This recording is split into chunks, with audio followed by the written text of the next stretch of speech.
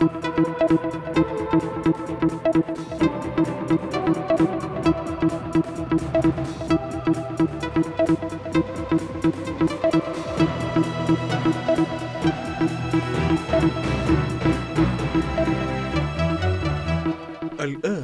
نشرة الأخبار مع زينة جمول.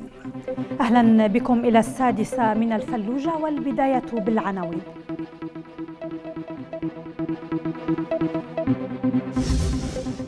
من ديالا إلى النجف الأطباء يواجهون الرصاص.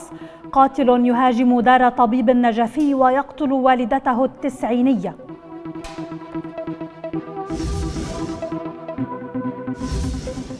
دم شهيد اليوسفية يلتف حول عنق قاتله. القوات الأمنية تلقي القبض عليه ومطالبات بمحاكمة تردع المنفلتين.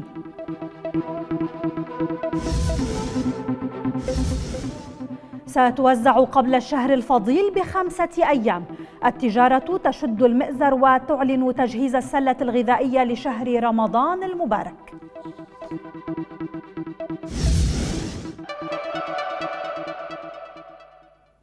أهلا بكم. اذا البداية من مسلسل استهداف الأطباء فبالأمس ديالا واليوم في النجف. حيث استهدف هجوم مسلح منزل طبيب ما أسفر عن استشهاد والدته في حي المثنى وسط المدينة. وذكر مراسلنا أن السيدة المغدورة هي والدة الدكتور قصور الطريحي البالغة من العمر تسعين عاما وكانت تجلس في حديقة منزلها أثناء الهجوم وتعرضت للقتل على يد المهاجم إلا أن صهرها كان متواجدا في ذات المنزل عند وقوع الحادث ليقوم بقتل المهاجم بدوره.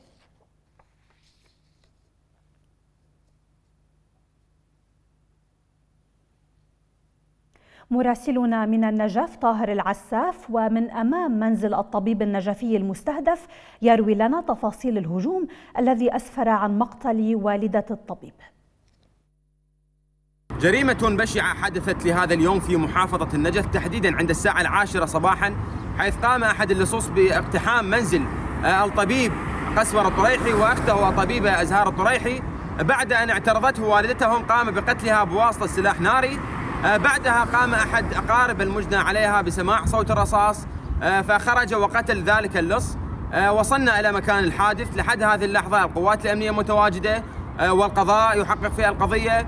ننتظر من قيادة شرطة المحافظة أن تزودنا بقية تفاصيل الحادثة. في بغداد شيع الآلاف من أبناء منطقة اليوسفية جنوبية العاصمة جثمان الشاب الشهيد الذي قتل على يد منتسب في إحدى السيطرات. وذكر المشيعون من أقارب الشهيد أن منتسبا في الجيش العراقي في إحدى سيطرات اليوسفية أوقف شابا من عشيرة القراغول كان عائدا من المستشفى ثم أرداه قتيلا أمام أنظار والدته وأطفاله الذين كانوا معه في السيارة.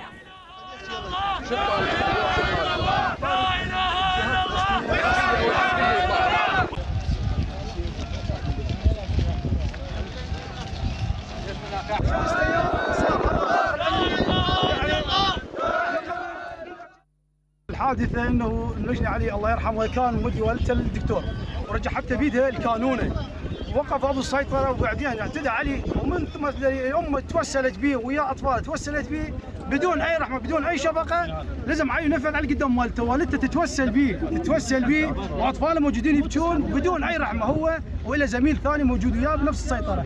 واللي واللي اللي قتله اللي على ما أعتقد هو ملابس مدنية يعني مو مو بزي عسكري يعني هسه كل مو بالواجب يعني كل إنسان هسه بملابس مدنية يقتل إنسان ثاني. وين القانون؟ إحنا أبناء اليوسفيه هنا ومنها عشائر القراقوض منطقة آمنة مستبدة الأمن 100% ماكو أي خرق أمني. مجرد هذه الفترة القليلة يصير هذا الحادث وهذا الحادث. تشوفون المشيعين من كل أبناء العشائر الموجودة المساندين لأبناء أبناء عشيرة القراقوض منطقة آمنة 100% وأبناء القراقوض ناس مسالمين.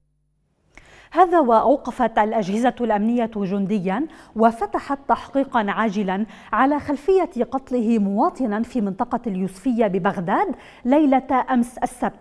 وأكد بيان لخلية الإعلام الأمنية اتخاذ جميع الإجراءات القانونية اللازمة بحق المنتسب وأضاف أن قيادة العمليات المشتركة وجهت وفدا من قيادة عمليات بغداد والقادة والضباط لتقديم العزاء والمواساة إلى ذوي المواطن. في سياق أمني آخر عثرت الأجهزة الأمنية على ثلاث جثث لرعاة أغنام فيما اغتيل شاب عشريني غربية محافظة نينوى وفتحت الجهات المعنية تحقيقا لكشف ملابسات الحادث. وأضاف مصدر أمني أن القوات الأمنية عثرت على جثث الرعاة الثلاثة قرب مجمع خان صور في سنجار غرب الموصل عليها آثار طلقات نارية. وأشار المصدر إلى حادث منفصل أفاد باغتيال مسلحين مجهولين شابا يبلغ من العمر 22 عاما بعد خروجه لصلاة الظهر في جامع المتقي بقضاء البعاج غربي المحافظة. في الأنبار استشهد أربعة من مقاتلي الحشد العشائري بهجوم شنه عناصر تنظيم داعش الإرهابي في منطقة الخضاء التابعة لقضاء هيت غربية محافظة الأنبار. وأفاد مراسل الفلوجة في المحافظة أن مقر السرية الثالثة للفوج الثاني باللواء السابع والخمسين للحشد تعرض لهجوم عنيف شنه إرهابيو داعش. خاض فيها مقاتلو حشد العشائر اشتباكات عنيفة مع الإرهابيين ما أسفر عن استشهاد أربعة من مقاتلي الحشد بينهم ضابط برتبة مقدم. بدوره أكد سعود المشهداني مستشار رئيس البرلمان أن الهجوم الإرهابي الأخير قرب قضاء هيت جاء بعد الخسائر الكبيرة التي تكبدها التنظيم الإرهابي على يد القوات الأمنية. استيقظنا صباح هذا اليوم على خبر حادث إرهابي مؤسف ذهب ضحيته أربعة من أفراد وعناصر الحشد العشائري على يد زمر إرهابية في منطقة الخوضة الواقعة بين المحمدي وهيت. هذه المنطقة هي منطقة مفتوحة على الصحراء وعناصر هذه النقطة الذين تم استهدافهم. واكتشفوا قبل عشرة أيام مضافة لداعش ساهموا في قتل أحد عناصر داعش الإرهابي. لذلك يعتقد الكثير أنه هذه هي محاولة للانتقام ومحاولة من هذه الجماعات الإرهابية. محافظة الأنبار هي محافظة آمنة ومستقرة وهذه المحافظة نعرف أنها كبيرة تمتد لمسافة 138 كيلو متر مربع وتحيط بها ثلاث دول وخمسة محافظات على الرغم من كبر المساحة لكن لا يكاد يكون حادث واحد في العام بعد أن كانت تعاني من ثلاثة إلى اثنين آه، من الحوادث في نفس اليوم. اليوم آه، الحوادث قلت كثيرا وهذا جهد استخباري وأمني يحسب للقوات الأمنية. بدورهم طالب مواطنون من محافظة الأنبار الجهات الأمنية بتكثيف الجهد الأمني والاستخباري والعمل على زيادة طلعات الطيران الحربي في أجواء صحراء المحافظة والقضاء على الخلايا النائمة التابعة لتنظيم داعش الإرهابي وذلك بعد تكرار الخروقات الأمنية التي تشهدها المحافظة أخيراً. طبعا الخرق اللي صار بغرب محافظة الأنبار أكيد راح يأثر على الوضع الأمني. داخل المدن المحررة المدن المستقرة. اليوم على القوات الأمنية بشن عمليات عسكرية في صحراء المحافظة. القضاء على عناصر الداعش المتواجدين في تلك المناطق. اليوم نريد إحنا كاميرات حرارية جهد استخباراتي داخل عمق الصحراء حتى نقضي على الخلايا المتواجدة. يعني إحنا اليوم كمواطنين من محافظة الأنبار نشاهد الاستقرار الأمني بالمحافظة والأقضية والنواحي بعموم الأنبار. لكن المشكلة الأساسية طالبنا بها مرارا وتكرارا إحنا كمواطنين اليوم الصحراء الغربية تحتاج إلى جهد استخباري إلى طيران حربي إلى تنظيف الصحراء. يعني هي خلايا بأقل عدد الأصابع. نتمنى أنه القوات الأمنية تكثف هاي الجهود وتنهي ملف داعش لأن ملل يوميا نخسر يوم بديالة يوم بالأنبار يعني هاي الخروقات الأمنية لا متى تبقى هيك. يعني إحنا نتمنى اليوم الصحراء الغربية تعود مثل سابق المواطن يتنقل بين دولة وأخرى أو أقضية بالليل. يعني آه، نتمناها بصورة عامة إنه الأمان يستتب بصورة عامة. يعني الأنبار اليوم الاستقرار الأمني الحمد لله حملة أعمار. لكن مشكلتنا الأساسية هي الصحراء الغربية تحتاج إلى جهد استخباري إلى آه، تكثيف جهود من قبل الحكومة العراقية. في سياق آخر أعلنت وزارة الدفاع العراقية استخراج رفات تسعة شهداء عراقيين ارتقوا خلال حرب الثمان سنوات مع إيران. وقالت أن شهيدا واحدا معلوم الهوية وثمانية مجهولون أودعت رفاتهم في مستودعات الحفظ. وبحسب بيان للوزارة فأن رفات الشهداء ستنقل إلى الطب العدلي في بغداد تمهيدا لإجراء الفحوصات الطبية بعد العثور عليها في قواطع عمليات البصرة وميسان وواسط وديالة. وأضافت وأضاف البيان أن عمليات الحفر المشتركة مع الجانب الإيراني للبحث عن المفقودين وبإشراف اللجنة الدولية للصليب الأحمر أسفرت أيضا عن استخراج رفات تعود لسبعة وخمسين إيرانية. منذ أكثر من عام وما زالت نحو 1200 عائلة أنبارية تقاسي مرارة الحياة نتيجة توقف رواتب ذوي الشهداء والجرحى بحجة التدقيق الأمني لترتفع الأصوات المطالبة بضرورة إنهاء هذه الأزمة.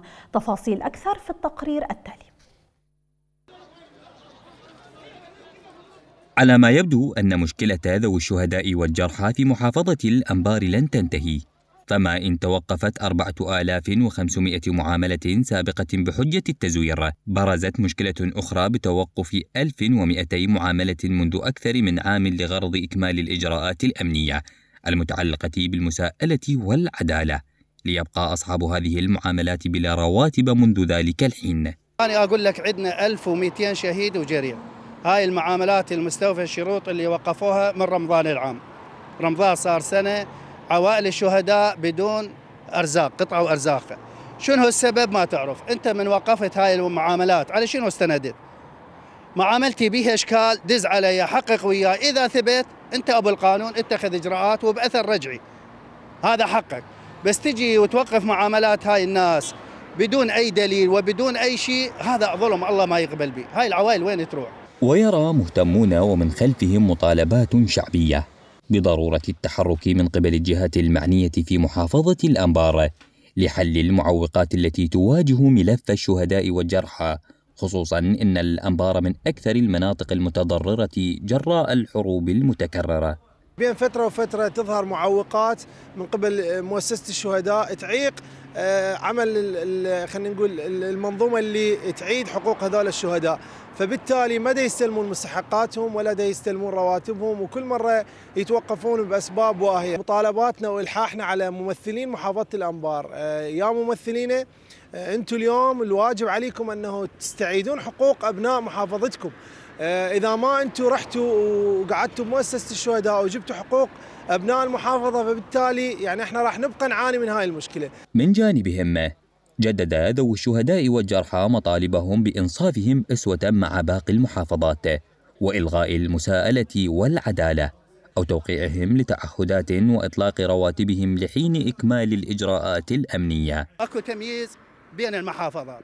هاي محافظة يستثنونها من الموقف الأمني. أما محافظة الأنبار لا لازم موقف أمني ومساءلة وعدالة وما زال ذوي الشهداء والجرحى ينتظرون بصيص أمل لعل هذا العام يكون نهاية لمعاناتهم بصرف مستحقاتهم وإطلاق رواتبهم المتوقفة منذ أكثر من سنة ونصف. من الأنبار إدريس يحيى قناة الفلوجة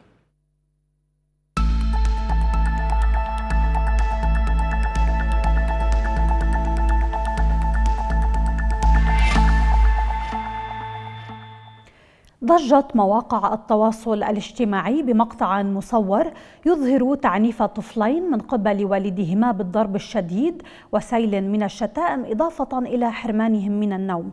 وذكر بيان لوزارة الداخلية أن القوات الأمنية اعتقلت والد الطفلين المعنفين اللذين ظهرا في مقطع مصور بعد ساعات طويلة من البحث ووفقا لزوجة المتهم فإن والد الطفلين يعمل منتسبا في الشرطة الاتحادية وهو من متعاطي المخدرات.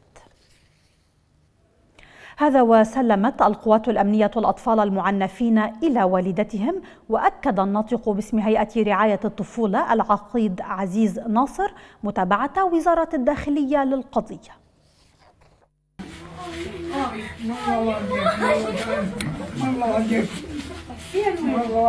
نشكر وزير الداخلية عبد الأمير الشمري ونشكر وكالة الاستخبارات ونشكر المراتب والضباط اللي ساهموا ويانا وفخروا ونشكر الحقيق السيد عزيز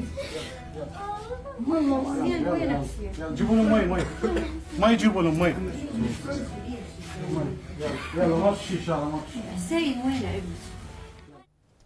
في شأن آخر أعلنت وزارة النقل تسجيل هزة أرضية فجر اليوم الأحد في الصحراء الغربية لمحافظة الأنبار بقوة ثلاث درجات فاصلة ثلاثة. وبين تقرير هيئة الرصد الزلزالي في الوزارة أن الهزة الأرضية سجلت في تمام الساعة الثانية وسبع وأربعين دقيقة من فجر اليوم. وكان مركزها في صحراء الرطبة غربية الأنبار وشعر بها المواطنون بشكل واضح دون تسجيل خسائر. ودعت الهيئة المواطنين إلى أخذ الحيطة والحذر والابتعاد عن الإشاعات والالتزام بتوصياتها لا يقتصر العمل الإنساني على جانب معين لا سيما إذا كان الإصرار والإرادة موجودين. الشاب عبد الله الحلبوسي كرس وقته وجهده منذ خمس سنوات لتحقيق حلم الأيتام والفقراء بعدما أنجز أكثر من أربعين منزلا ووزعها على الأيتام مجانا ومن دون أي دعم حكومي. تفاصيل قصة هذا الشاب نتابعها في التقرير التالي. من مجرد خطة على الورق إلى أكبر مشروع لإيواء الأيتام في محافظة الأنبار. هكذا يكافح الشاب عبد الله الفلوجي منذ خمس سنوات لتحقيق حلم قد يراه البعض صعب المنال. من خلال جمعية خيرية لم تتجاوز 25 ألف دينار شهريا يتبرع بها ميسورو الحال. استطاع هذا الشاب أن يبني 40 منزلا في الفلوجة ليوزعها على الفقراء مجانا. كان التحدي كل صعب إنه نشتري هاي القطعة الأرض. كنت تملك كله 15 مليون. وتحدي إنه اشتري قاع أكثر من 125 مليون لكن توكل على رب العالمين بعد ما صليت صلاة الاستخارة إنه استش...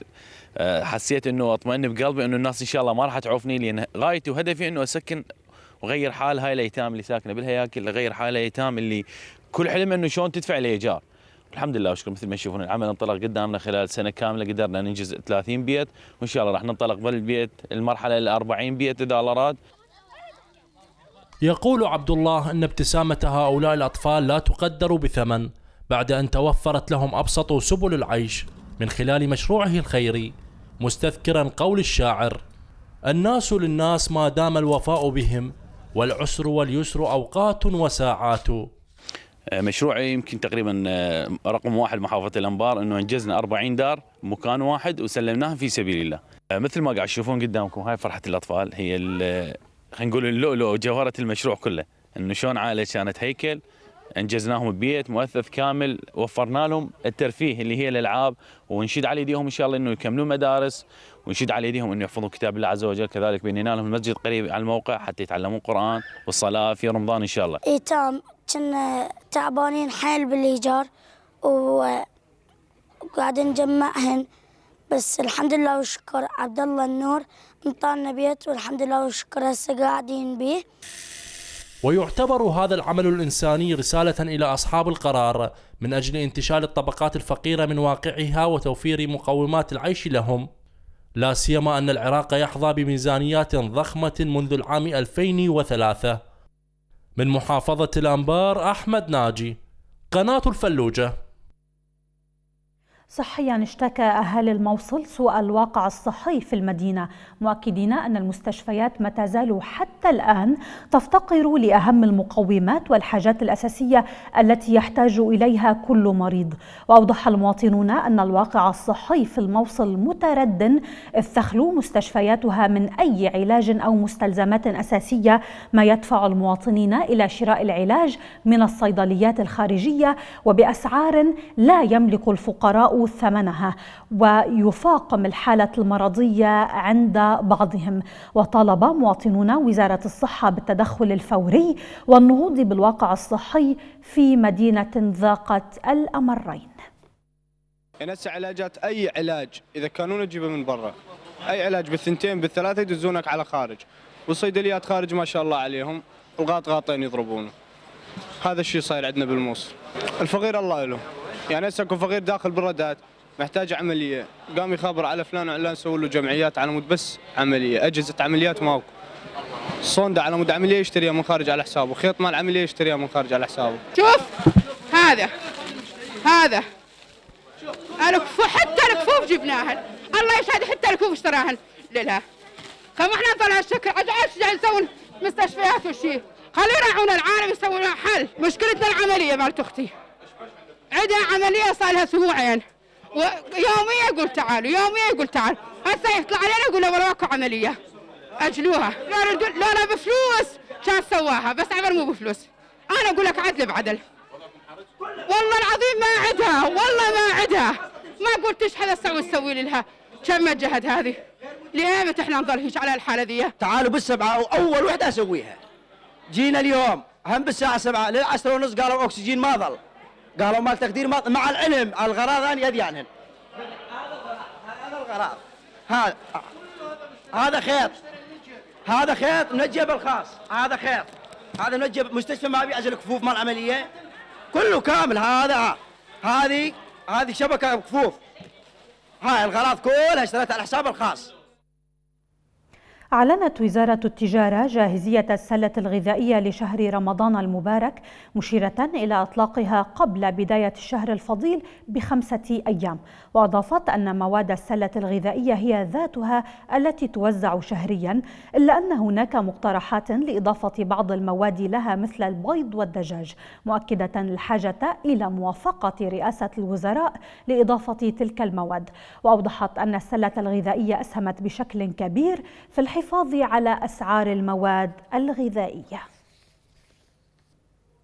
اجتماع مهم خرج بنتائج إيجابية جمع وفد وزارة التجارة الاتحادية بوزارة تجارة الإقليم لتجاوز المشكلات والإخفاقات السابقة. تقريرنا التالي يتحدث عن تفاصيل هذا اللقاء. نتائج إيجابية مهمة ستطبق على أرض الواقع خلال الفترة القادمة. خرجت بها اجتماعات مدير الشركات الثلاث في وزارة التجارة الاتحادية ووزارة التجارة والصناعة في الإقليم المتعلقة بتجارة الحبوب والحصة الغذائية وتصنيع الحبوب. آه، كانت الجلسة مفتوحة. آه، هناك أسئلة كبيرة فيما يتعلق بمواضيع كثيرة مواضيع السلة الغذائية. طرح موضوع المستحقات فلاحين إقليم كردستان اللي تمت الموافقة عليها وتوزيعها إلى إقليم كردستان. أيضا آه، هناك أيضا كان موضوع فتح موضوع الحنطة وكيفية التسديد. بتوجيه من السيد الوزير أثير الغريري بحل كافة المتعلقات والمعوقات الخاصة آه، بين وزارة التجارة في بغداد والمركز مع الإقليم آه، تم حضورنا اليوم لعقد اجتماع تم إبرامه مع الإقليم مسؤولين في الإقليم والجهات المسؤولة في وزارة التجارة لحل هذه المتعوقات. أبرزها هي كان مستحقات الموظفين. وتعمل وزارة التجارة متمثلة بوزيرها أثير الغريري بتجاوز الإخفاقات السابقة بإيصال مفردات البطاقة الغذائية كاملة إضافة إلى حسم موضوع إعداد موظفي وزارة تجارة الإقليم وكيفية تسويق وتوزيع الحنطة المستوردة التي تأتي من أستراليا وكندا. أفضل المناشئ العالمية. حاولنا أن نبدي بعملية جديدة من الآلية جديدة لتنفيذ هذه المهمة. إن شاء الله الأسبوع القادم راح يعني ننفذ هذه الآلية ونعالج كل المعوقات اللي أمامنا. وأطلقت وزارة التجارة المستحقات المالية لفلاحي إقليم كردستان للعامين 2015 و2016 وسط ارتياح كبير فيما تسعى من خلال تلك الاجتماعات والزيارات لفتح آفاق جديدة من التعاون المشترك بين الوزارتين. اجتماعات مكثفة بين لجان وزارة التجارة الاتحادية ووزارة التجارة وصناعة إقليم كردستان بتذليل جميع المشاكل والمعوقات التي تتعلق بالسلة الغذائية وتصدير وتسويق الحنطة ومستحقات فلاحي كردستان. بشير الحسن. قناة الفلوجة أربيل.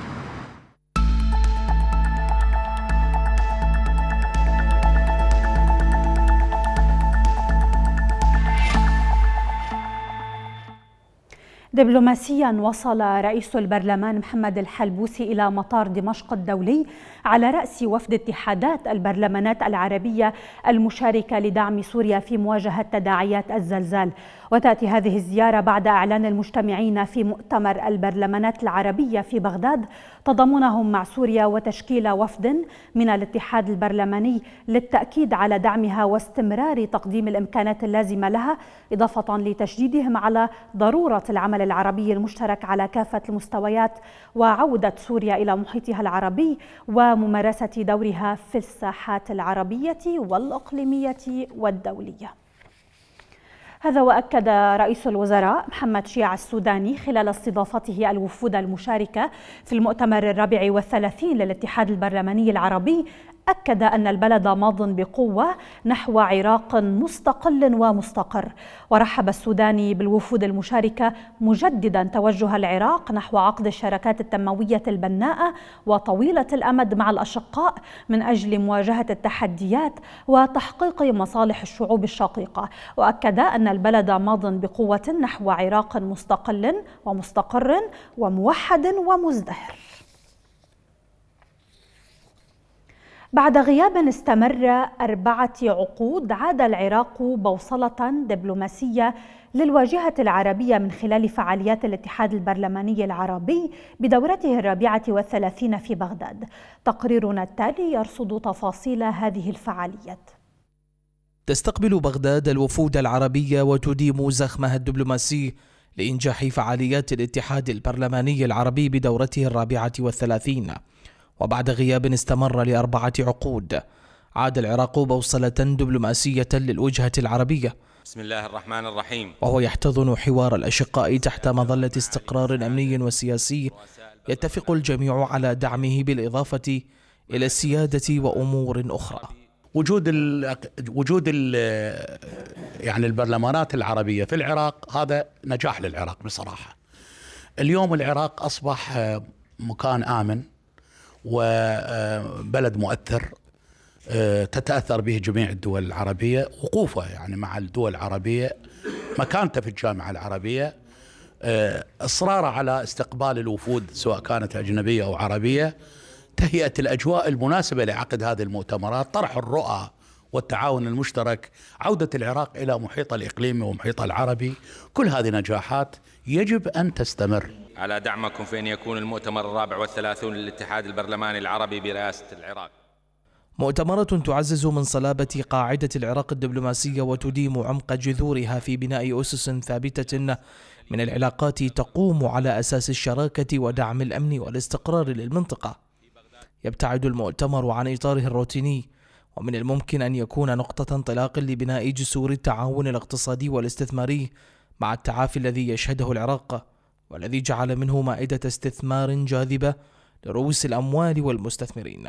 يحتضن العراق البرلمانات العربية. وهذه بالتأكيد ليس كما كان سابقا مؤتمرات بروتوكولية لأن هنالك الحديث عن الكثير من المواضيع الأمنية وموضوع الطاقة وموضوع الاقتصاد لأن اليوم الجميع يعاني من تردي الاقتصاد. والعراق على اعتبار أنه بلد منتج للطاقة فهو يمثل حلقة مهمة في التوازنات فيما بين هذه الدول. طاولة حوار تتقارب في الأفكار والأهداف يخرج عنها بيان ختامي يحدد ثمار المؤتمر الذي تبدو مؤشراته إيجابية انعكست في وقت سابق من خلال المؤتمرات والقمم التي احتضنتها بغداد وأكدت خلالها سعي العراق وجديته بالاندماج في محيطه العربي واستثمار فرص التقارب مع أشقائه.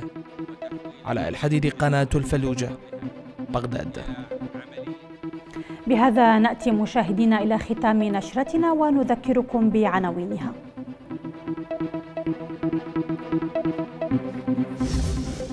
من ديالا إلى النجف الأطباء يواجهون الرصاص. قاتل يهاجم دار طبيب نجفي ويقتل والدته التسعينية.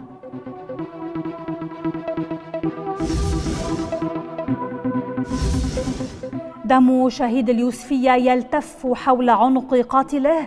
القوات الأمنية تلقي القبض عليه ومطالبات بمحاكمة تردع المنفلتين.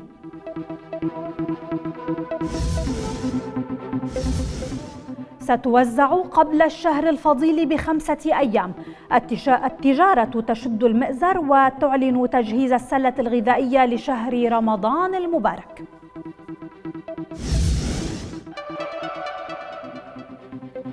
للمزيد من الأخبار تفضلوا بزيارة حساباتنا على منصات التواصل الاجتماعي لقناة الفلوجة على فيسبوك تويتر يوتيوب وإنستغرام. هذا ختام النشرة إلى اللقاء.